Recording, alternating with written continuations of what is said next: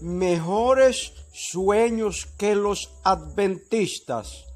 No, mis amigos, no creo que haya otro grupo religioso de creyentes que tenga mejores sueños que los adventistas.